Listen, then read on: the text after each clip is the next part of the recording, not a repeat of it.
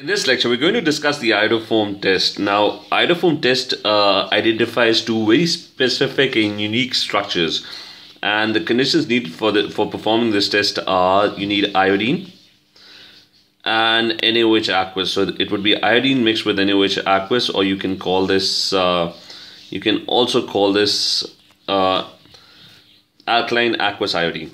So this is the condition needed for the test and it identifies these two specific structures. One is a methyl ketone. So there is CH3 next to a C double bond O and then there's the rest of the molecule. So, so the structure must be in exactly the same order. It would be CH3 followed by C double bond O. The other structure that it identifies is again there's going to be a methyl and on the neighboring carbon atom there has to be an OH group.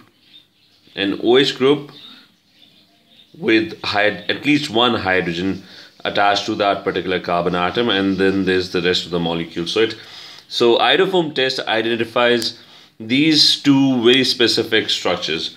And and in both cases when you perform this reaction when you mix iodine and NaOH aqueous what happens is that this methyl uh, which is bonded to the carbon double bond O it breaks uh, or in the second structure the methyl bonded to the carbon which is bonded to the alcohol group that breaks.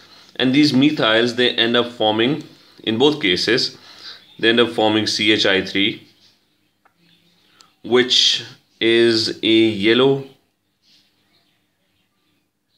precipitate. So in both cases one side breaks away the methyl side and it ends up forming CHI3 which is a yellow precipitate. Whereas the other side what happens to the other side is that this particular carbon if you focus on this particular carbon over here which I am highlighting in both cases this gets converted into a carboxylic acid. And since you're reacting excess NaOH so this carboxylic acid would end up reacting with that excess NaOH and it would end up forming a salt of the carboxylic acid. So, so you're going to get, get a salt of carboxylic acid instead of the carboxylic acid. So it's going to be O minus 1 and Na plus. So you're going to get this salt that would be formed. So the conditions are alkaline, which is why this side breaks away and ends up forming a carboxylic acid. So this would uniquely identify these two structures. Nothing else. If this structure is present in a molecule, then the iodoform test is going to be positive. Let's start with our first example of, uh, of the iodoform test. So I'm going to take a molecule uh, and let's uh, see if butanone has a positive iodoform test and if it has a positive iodoform test then what are the products of that test so so I have butanone butanone has four carbon atoms. So there are four carbon atoms and there's going to be a double bond O somewhere in the middle. So there are two carbon atoms. So you're always going to get the same ketone. And there would be three hydrogens with this carbon atom. There would be two hydrogens with this carbon atom. And there would be three hydrogens with the last carbon atom. So this is butanone and if you look carefully uh, what you would notice is that butanone has the structure that is needed for a positive iodoform test. You needed a methyl group, so you have CH3 and it should be bonded to C double bond O and then you have the rest of the molecule. So this structure is present in butanone if you look carefully over here. So, so this structure is present and what's going to happen is the iodoform test is going to be positive. The methyl part is going to break away and it's going to end up forming a yellow precipitate of CHI3 so you're going to get a yellow precipitate of CHI3 whereas this carbon atom over here which on the left hand side this part of the molecule this part of the molecule is going to break away. It's going to end up forming a carboxylic acid. So you, you're going to have CH3 CH2 and the last carbon atom that uh, was bond uh, broke away which I highlighted that would get converted into a carboxylic acid but since uh, the conditions are alkaline you're not going to get a carboxylic acid you're going to get a salt of the carboxylic acid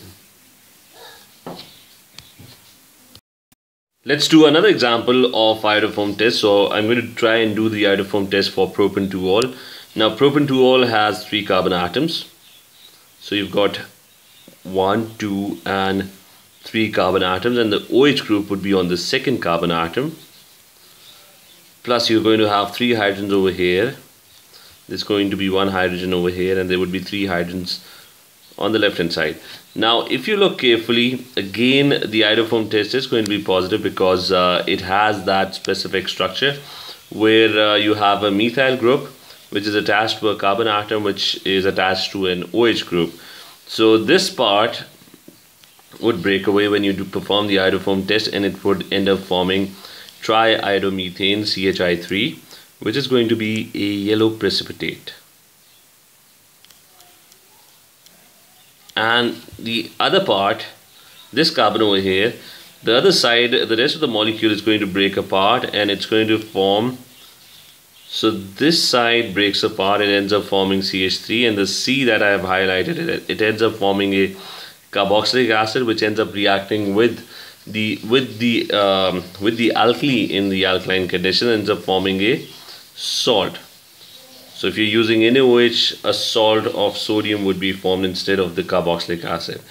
And this is the reaction, the iodoform test for propan-2-ol.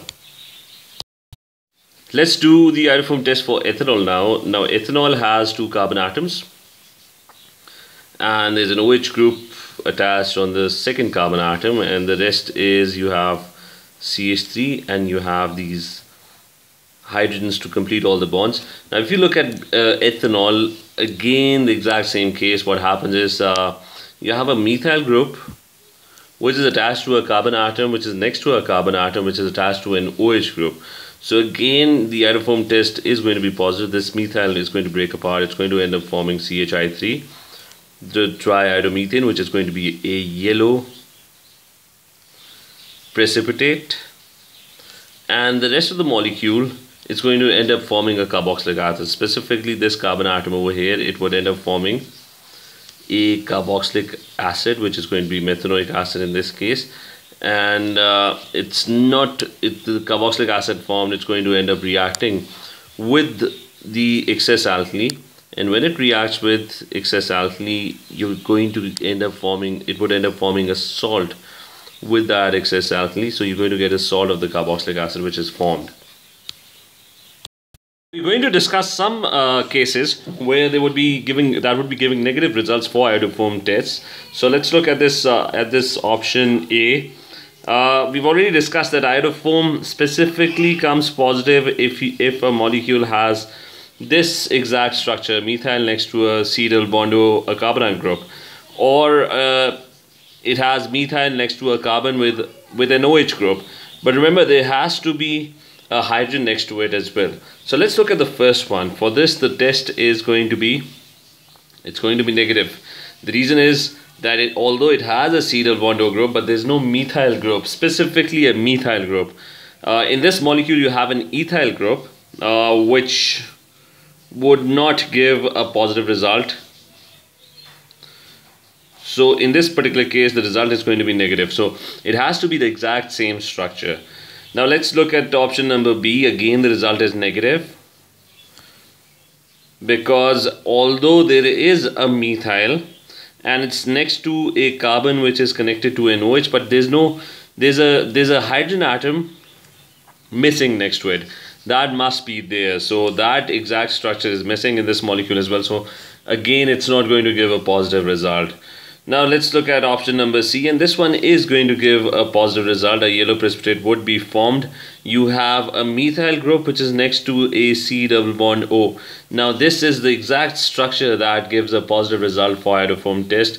So this is going to give a positive result. Again, let's move to option number D. Again, the result is going to be positive because you have the exact structure present in the molecule. You have a methyl group which is attached to a carbon atom which is attached to an OH and it's also attached to a hydrogen. So this exact structure is present in this molecule. So these two the last two options are going to give positive results. So remember the iodoform test is only positive if the exact same structure the one that I've shown over here are present in the molecule